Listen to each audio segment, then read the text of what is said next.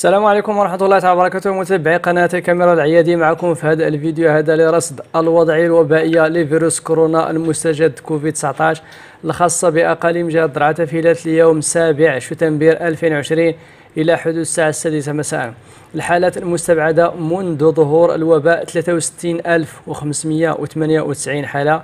الحالات المؤكدة منذ ظهور الوباء 3767 حالة. حالات الشفاء 2208 الحالات. الحالات قيد العلاج 1465 حالة.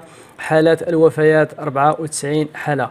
بالنسبة لتقسيم حالات اليوم على حسب الأقاليم اللي كتنتمي للجهة إقليم ميدان 490 حالة أي بزيادة 57 حالة في 24 ساعة الماضية.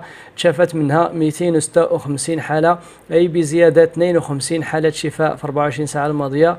توفت منها خمس وفيات. بالنسبة لإقليم الرشيدية 1291 حالة أي بزيادة 29 حالة في 24 ساعة الماضية.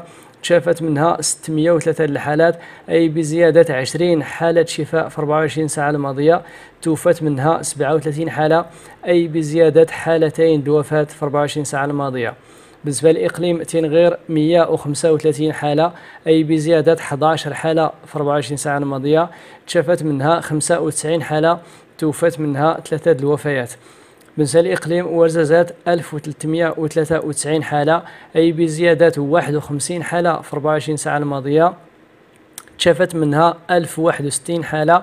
أي بزيادة 17 حالة شفاء في 24 ساعة الماضية. توفت منها 35 حالة. أي بزيادة حالتين ديال الوفاة في 24 ساعة الماضية. بالنسبة لإقليم زاكورا 448 حالة. أي بزيادة 30 حالة في 24 ساعة الماضية. تشفت منها 193 حالة. أي بزيادة 15 حالة شفاء في 24 ساعة الماضية. توفت منها 14 حالة أي بزيادة حالة وفاة واحدة في 24 ساعة الماضية.